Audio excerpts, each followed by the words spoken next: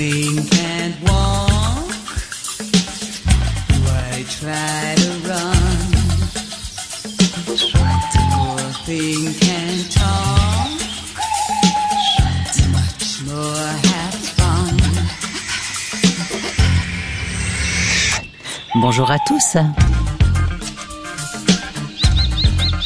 Chouette. Une émission de Nancy Ypsilantis.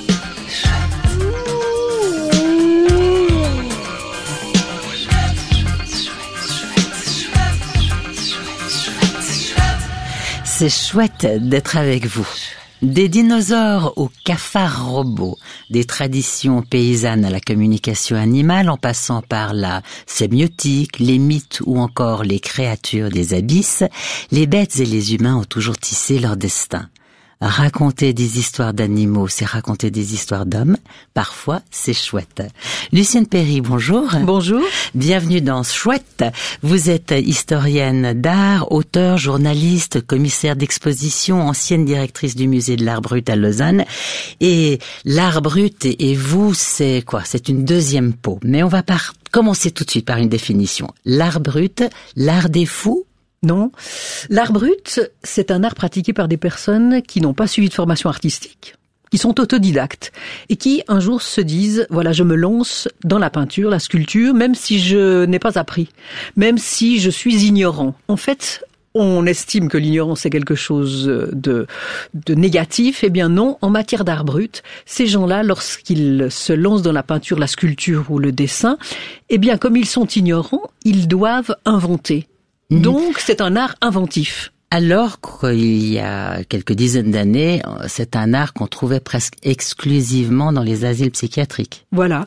Mais euh, toujours, Jean Dubuffet, qui est à l'origine de l'art brut, a toujours euh, tenu à préciser le fait que l'art brut, ça n'est pas l'art des fous, c'est un art de marginaux. Alors certains, oui, étaient effectivement emprisonnés, euh, euh, incarcérés ou hospitalisés dans des asiles, mais d'autres, eh bien, étaient emprisonnés dans des prisons d'ailleurs, et puis d'autres vivaient simplement à l'écart, à l'écart euh, de la grande ferveur, euh, à l'écart des villes, souvent dans des campagnes, dans des fermes isolées, ou alors ben, tout simplement à huis clos, dans des chambres, eh bien, créer des œuvres, des personnes qui créaient des œuvres, qui inventaient un univers, qui réinventaient un univers et parfois avec des bêtes. Justement, est-ce qu'ils ont le beau rôle dans cet art-là? Alors, les animaux, oui. Alors oui, ils ont le beau rôle.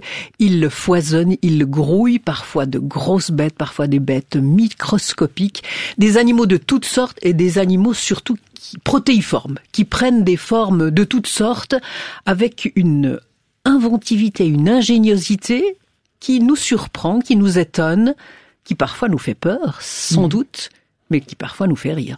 Est-ce que ces animaux, là on parle de généralité, mais est-ce que ces animaux ont, des valeurs thérapeutiques?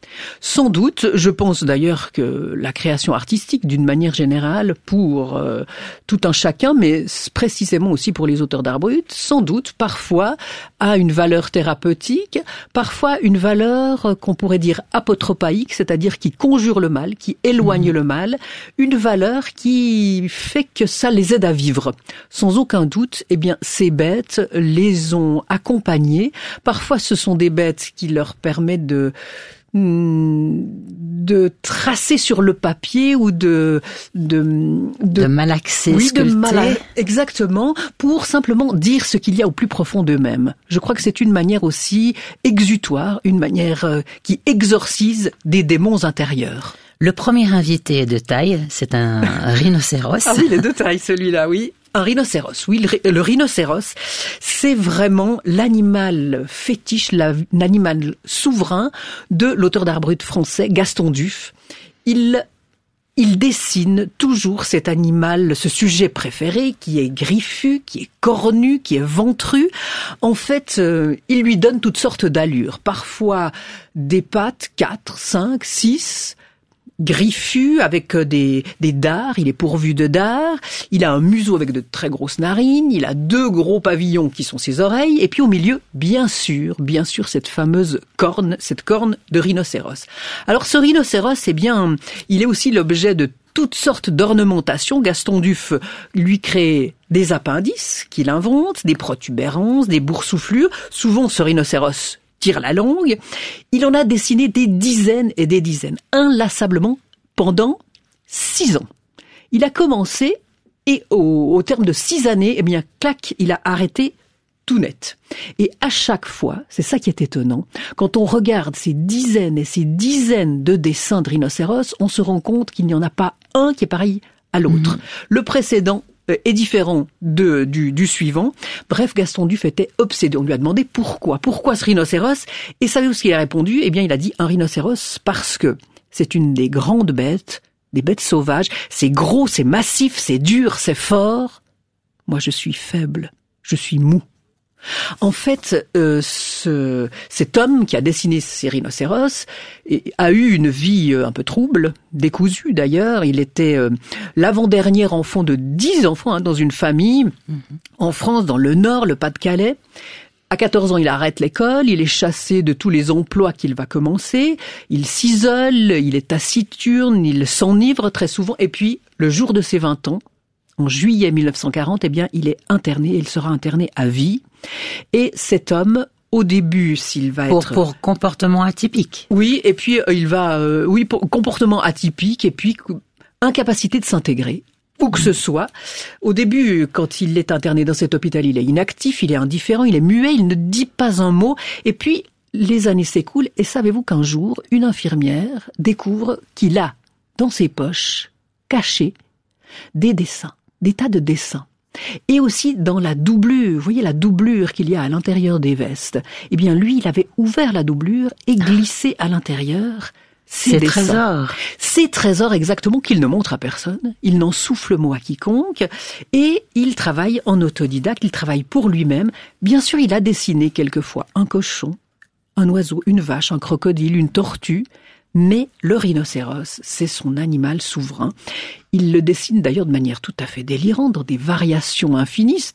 Ce, rhinocéros, il le transforme, il l'étire, il l'allonge, il le met dans tous ses états et il lui donne un caractère très bestial. Bref, il le dessine avec euh, beaucoup d'emphase. C'est pour lui une figure mythique. Il le dessine tant et tant qu'on a l'impression qu'il épuise, qu'il exploite tous les traits, qui- presque qu'il le vide de son sens. Et ce rhinocéros, ça devient peut-être le prolongement de lui-même, l'extension de sa propre personne, c'est ça qui est étonnant. Et quand on regarde ces dessins, ce qui est étonnant de voir, c'est que il y a non seulement des dessins de rhinocéros, mais en plus, à côté de chacun des dessins, il y a le mot rhinocéros qui est écrit. Avec Mais- des orthographes euh, variables. Fantasque, oui, ça c'est sûr. Jamais le mot rhinocéros est écrit de manière correcte. À chaque fois, rhinocéros, rhinocéros, rhinocéros, rhinocéros, avec des accents circonflexes sur toutes les voyelles, des cédilles sous tous les C, des apostrophes, des traits d'union à foison. Bref, on a vraiment l'impression que Gaston Duff s'amuse tout autant visuellement que sur le plan sonore, il dénature le mot, il le réinvente. Il s'en amuse un peu comme les enfants, hein, quand, quand ils prennent un mot, ils le malaxent dans tous les sens. Il l'ornemente de façon outrancière, et puis aussi dans la graphie, parce qu'il enroule, il déroule les lettres. Bref, on a l'impression que ce rhinocéros danse dans la tête de Gaston Duff, dans son esprit, dans tout son être. C'est son compagnon de cauchemar. C'est sa trouvaille, en fait. Sa trouvaille savoureuse, c'est son mystère à lui. Et moi, personnellement, vraiment, je n'ai jamais vu aucun auteur d'art brut déployer avec autant de verve et autant de maestria une, une- des variations sur un seul thème avec autant d'assurance, il n'y a jamais de repentir. Il dessine des petits formats comme des très grands formats. Et ça, quand même, c'est très différent. Chaque peintre, chaque dessinateur sait que c'est difficile de changer d'échelle. Eh bien, si vous passez par la collection d'art brut, au deuxième étage, vous verrez de grands, de grands rhinocéros. Bref, Gaston Duff vraiment a, a cessé euh, au terme de six ans toute production. On peut se demander Donc c'était liberté totale avec une forme, Voilà. jusqu'à épuisement total, et tel un enfant le jouet perte de son intérêt. perte de son intérêt. Je pense qu'en fait, il avait fait ce qu'il devait faire. Ça a une valeur peut-être exutoire. Moi, je crois au fond qu'il a donné corps à la bête monstrueuse qu'il avait en lui et que nous avons chacun de nous au fond de nous-mêmes, mais que nous, de nous nous efforçons d'effacer, d'étouffer. Hein, eh bien, cette bête, Gaston Duf, cette bête qu'il avait au fond de lui, il l'a affrontée, il lui a donné vie avec beaucoup de vaillance, avec beaucoup de courage. Peut-être aussi que ce, ce dessin qu'il pratiquait rituellement, d'ailleurs il avait une autre pratique rituelle, c'était qu'il se coiffait chaque matin devant son miroir, avec beaucoup de patience, il se faisait trois raies dans les cheveux. eh bien, peut-être que cette pratique capillaire, eh bien, avait son pendant. C'était une pratique graphique. Il dessinait ses rhinocéros, une, un rituel magique, allez savoir. Bref, en tout cas, cet animal, cette créature imaginaire est apparue comme elle a disparu, sans crier gare. Mais il est resté apaisé. Il est resté apaisé, et puis nous, surtout, on a des, des trésors de rhinocéros.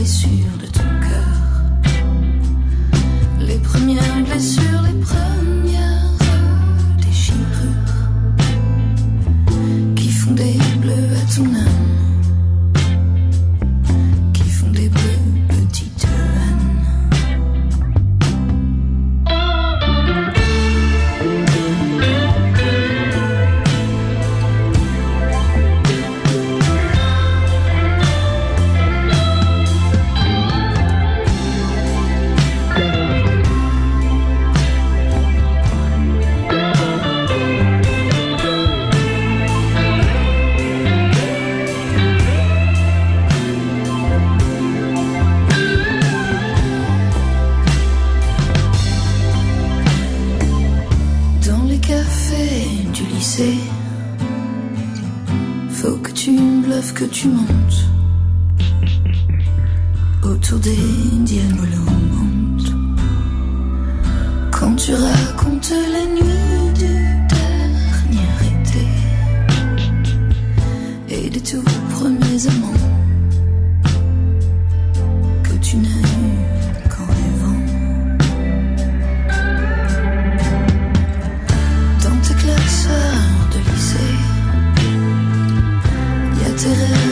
secret.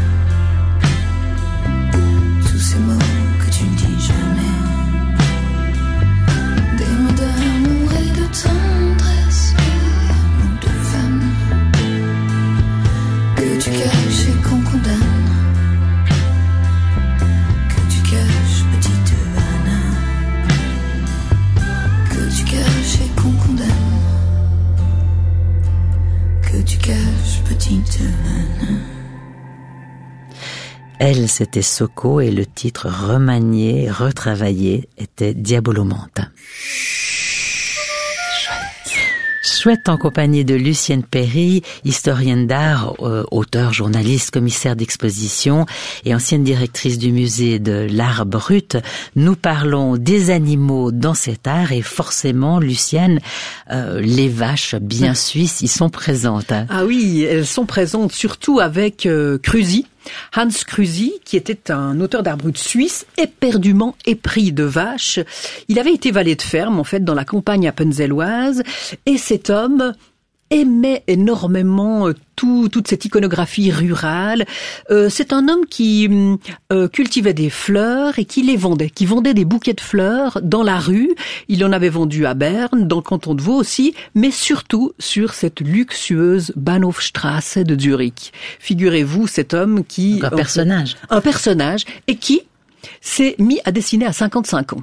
Donc une sorte de vocation tardive, très bonne vocation tardive, une créativité qui avait surgi comme ça sur le tard et qui s'est déployée avec ferveur. Alors il dessinait sur tout ce qu'il euh, sur tout ce qu'il trouvait, surtout les serviettes en papier des, des restaurants. Il aimait beaucoup cela parce que comme elles étaient fines, eh bien ça décalquait, euh, le- l'encre pompait et puis ça faisait toute une série. Les vaches se multipliaient, vous voyez, parce qu'en fait il aimait euh, toutes euh, ces paysages les armaillis, les bergers. Les poyas. Oui, mais alors surtout les poyas, surtout les vaches, surtout ces poyas, c'est-à-dire ces montées du bétail à l'alpage, ces vaches qui se succèdent.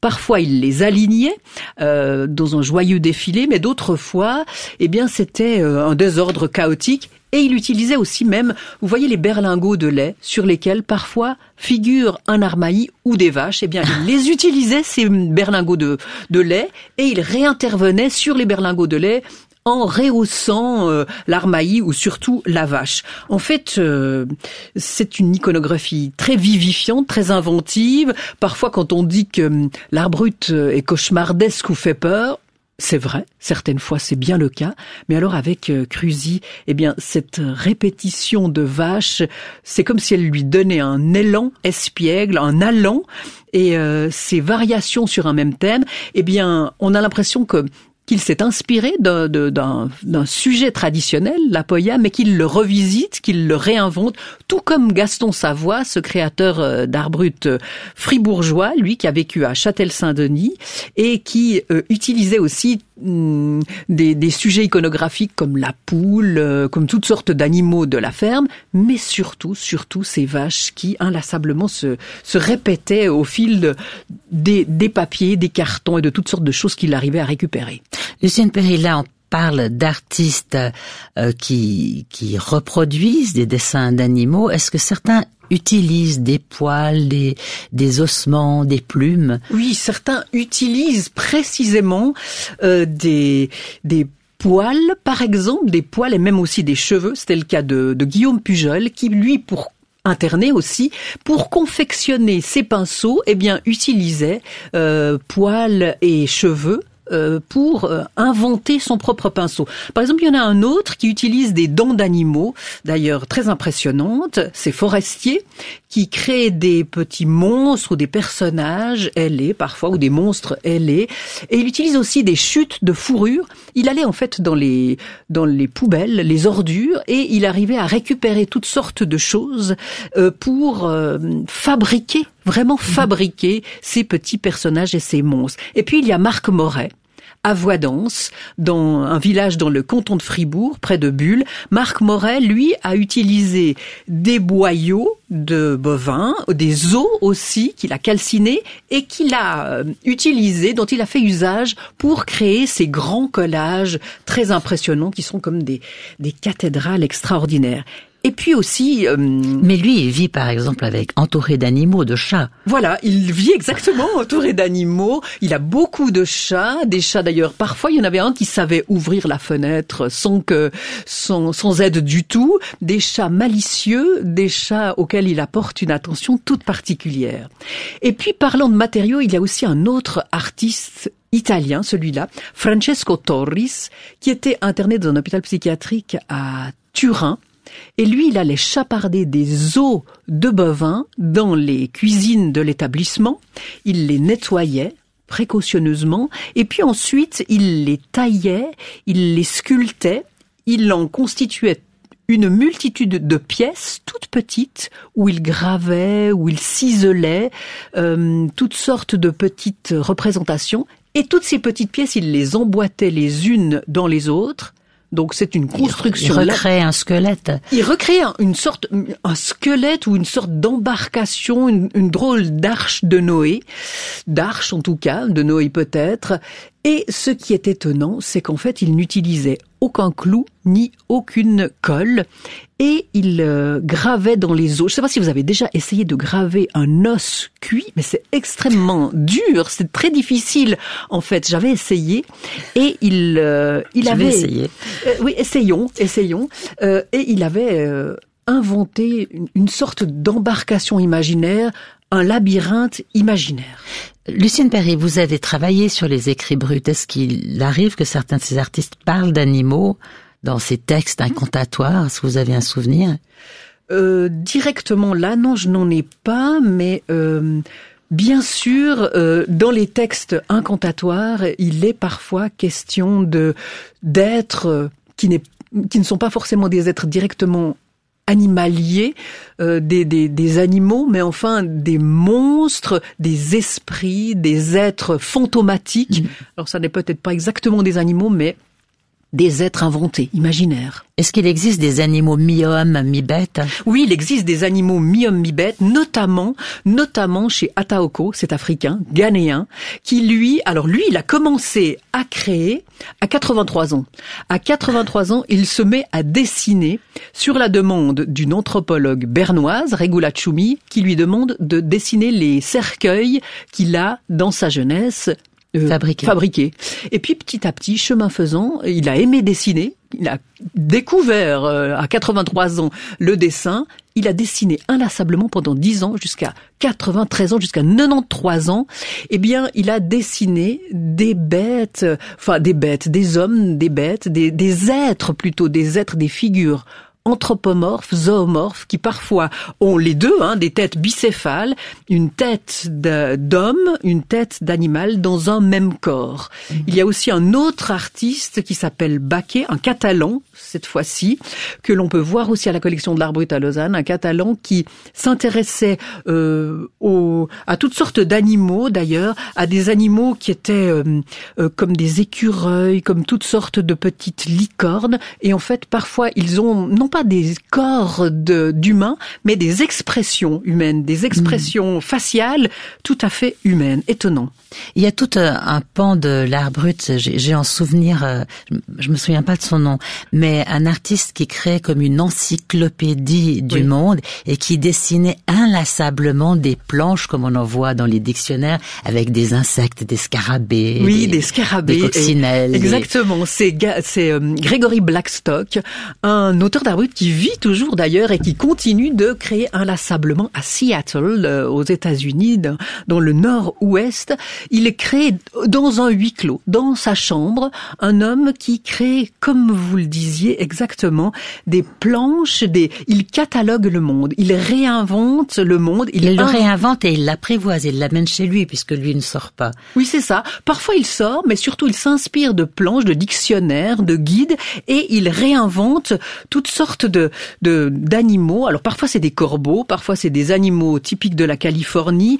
Il se livre à une sorte de classification méthodique et détaillée d'animaux. Il réorganise le monde animalier, et puis il déroge à la règle. On croit d'ailleurs, j'avais interrogé quelques quelques amis biologistes, on croit d'ailleurs qu'il est fidèle, hein, parce qu'on a l'impression vraiment que il, euh, il, les animaux se succèdent, mais enfin, on voit bien qu'en fait, il agit avec triche. désinvolture, il triche sans arrêt, et d'ailleurs, euh, il fait des scarabées euh, qui ont des couleurs insensées, euh, jaune fluo, et puis il leur met, il ajoute quelques pattes, il ajoute des antennes, bref, il réinvente le monde des scarabées, des oiseaux, avec une grande désinvolture. C'est pas le seul qui s'intéresse aux insectes. Non, il y a aussi Gabrichevski.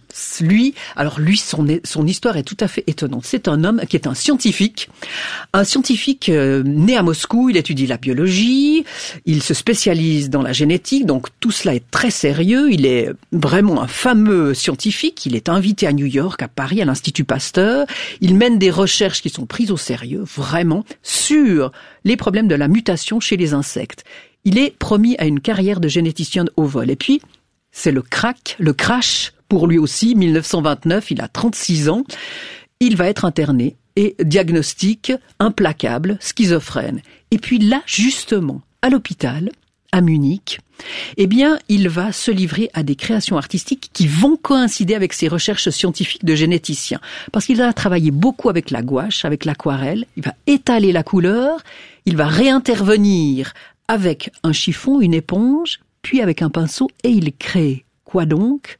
Eh bien, à nouveau, des insectes, à nouveau des taches qui, qui créent... Qui prennent vie. Voilà, qui prennent vie, qui deviennent des insectes, qui deviennent des êtres hybrides, parfois des animaux hydrocéphales, hermaphrodites. toute une série de bestioles que l'on voit d'ailleurs, que l'on voit sur euh, défiler sur ces feuilles de papier. Et ce généticien, en fait, qui était précisément familier des phénomènes de clonage, d'évolution et de mutation, eh bien, ce, spécia- ce spécialiste, sur le plan scientifique, devient un spécialiste de ces mêmes phénomènes, mais sur le plan artistique. Saisissant.